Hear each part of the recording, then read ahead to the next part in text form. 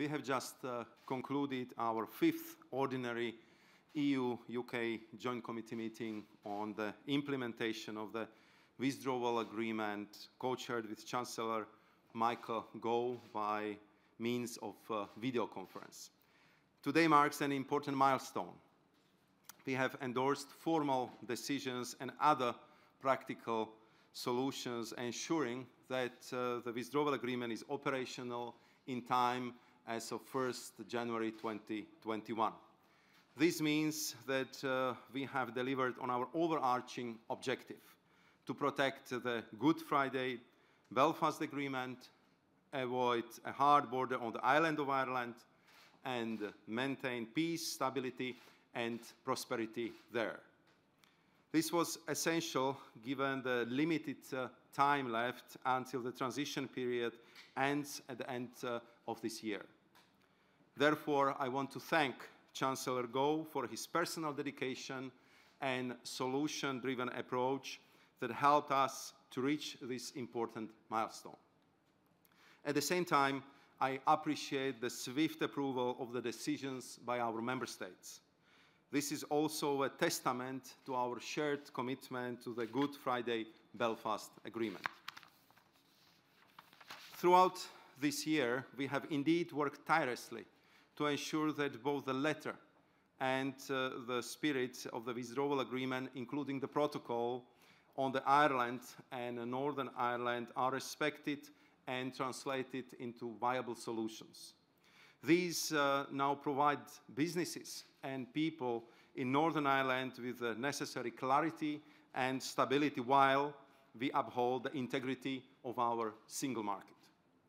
Let me highlight uh, the EU's two main priorities. First, robust working arrangements for the EU's presence in Northern Ireland so that our representatives can effectively carry out their tasks on the ground.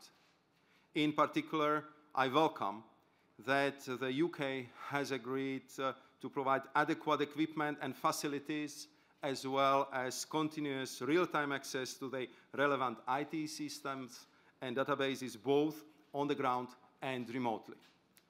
The second priority, which I strongly welcome, is that the UK has uh, committed to withdraw all contentious parts of uh, its internal market bill and refrain from introducing any similar parts in its taxation bill.